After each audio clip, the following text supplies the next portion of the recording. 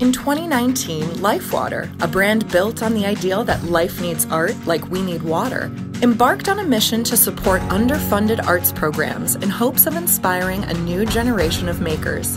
Their promise bring art to 10 million students. To do it, the brand zeroed in on cities across the country with arts communities in need of a boost, celebrating artists whose commitments to their hometowns were surpassed only by their impact on the creative world. Everywhere it stopped, it shared the stories of these artists, captured the creation of a uniquely local mural, and followed them as they inspired students of all ages. LIFEWTR called this effort Canvas for Change.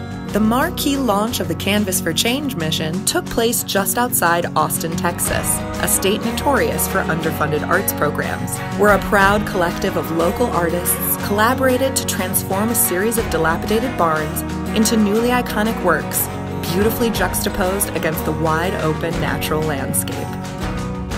From there, LIFEWTR's efforts expanded to nine cities, including Denver, Chicago, Boston, Atlanta, and Los Angeles, where the brand collaborated with schools and community centers to craft unique pieces of artwork tied to awareness and inspiration on both the local and national level. In all, Canvas for Change resulted in 59 murals created by 40 artists, garnering 665 million impressions. And most importantly, reinforced the universal truth that a world overflowing with creativity is one we can all benefit from living in.